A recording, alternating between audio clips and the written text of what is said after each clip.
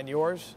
America's Caddie live from Brookline. Hey, uh, Caddie, you, you talk to a lot of people, whether they're players or caddies or not. But lucky for us, you talk to players and caddies. What have they been telling you about this week? Well, the player that I talked to when I said, "Hey, man, what's what's the vibe like here with all these LIV players?" and you see Phil Mickelson walking around and walking by, how you feeling? And he goes, "I really don't care.